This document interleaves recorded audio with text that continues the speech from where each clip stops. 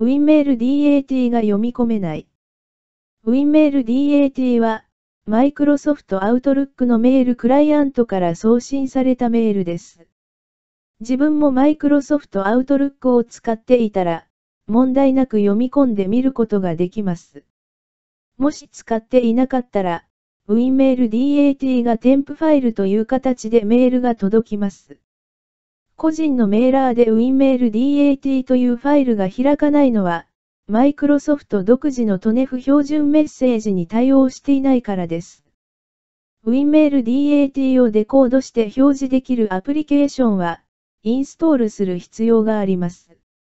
メモ帳で開いても文字化けすることがあるので、おおよその中身を知るだけで詳細内容はわからないことになります。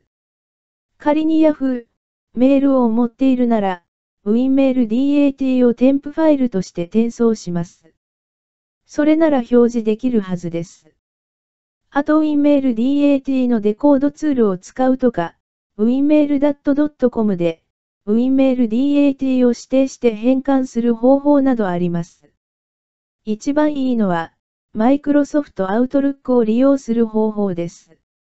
そもそも WinMail DAT は、トネフ形式でメールを送信するから添付形式になります。だったら送信者のメーラーの送信設定を変更してあげます。送信メールの形式をテキスト形式や HTML 形式に変更します。